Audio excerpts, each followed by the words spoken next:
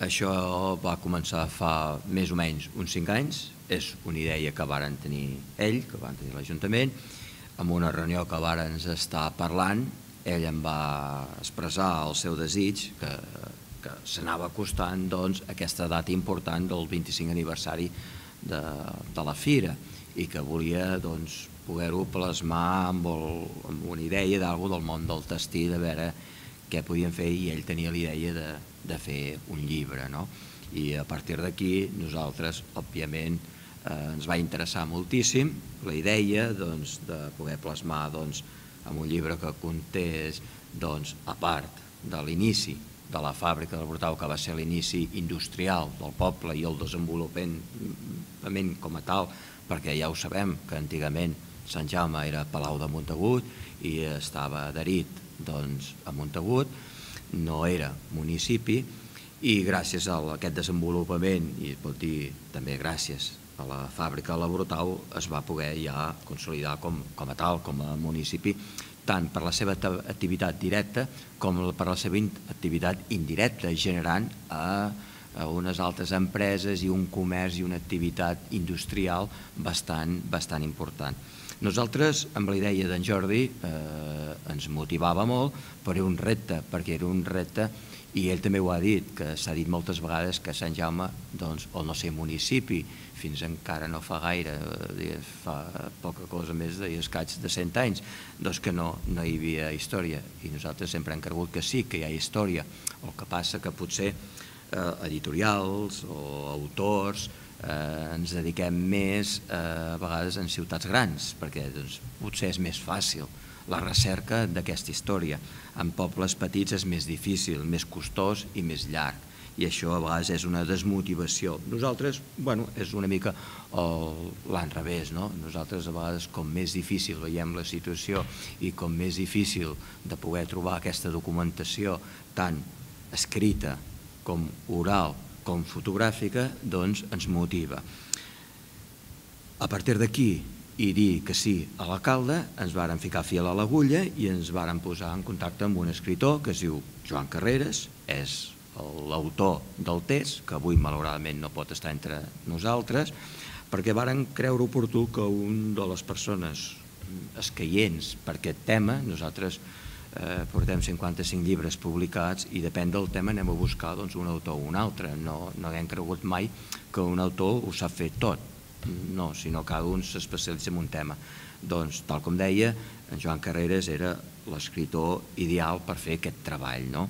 Li varen plantejar la idea i, òbviament, ens va dir que sí. Ell ja ens havia escrit altres llibres, concretament Els masos de Sant Aniol, de Finestres, i ja s'hi va posar de seguida. Què ha comportat en tots aquests anys la feina? Doncs ha comportat doncs, a base de moltes hores,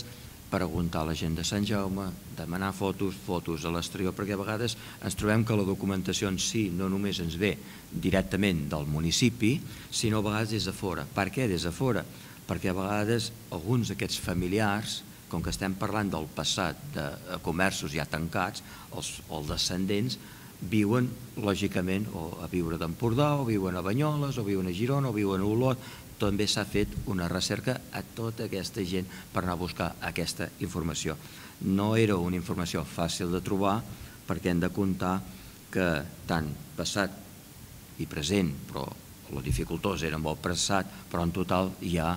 vora de més o menys passem de 200 diguem, llocs que feien una activitat eh, econòmica sigui comerç, sigui taller, ofici o indústria, no?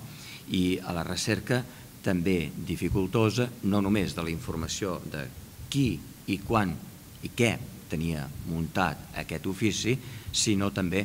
el que l'editorial sempre li ha agradat molt, que és fer llibres en documentació fotogràfica. Està molt bé el text, la documentació oral o documental, però ens interessava molt aquesta foto d'aquell moment de que hi havia el comerç.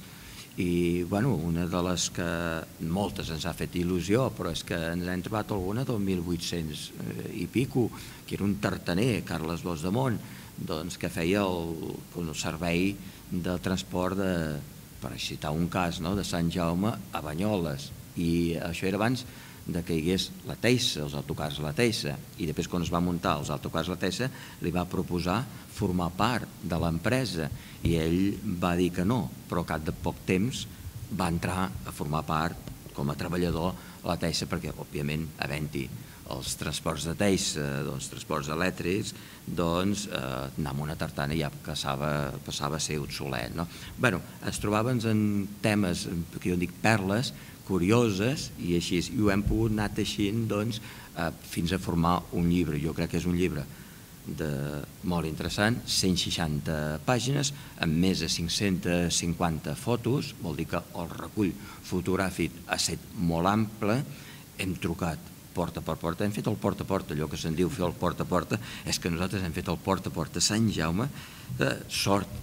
i perdona amb l'alcalde, sort que el poble és petit, perquè si hagués vingut a fer el poble, poble a la ciutat de Girona, impossible, però hem trucat a totes les cases a veure si tenien fotos antigues i la col·laboració del poble ha estat extraordinària. Sí que per un costat en Joan ha fet un treball excel·lent i crec que ha estat un dels millors, però jo sempre ho dic que si no haguessin tingut la col·laboració de la gent del poble no hagués estat possible poder mm, reunir tota aquesta informació.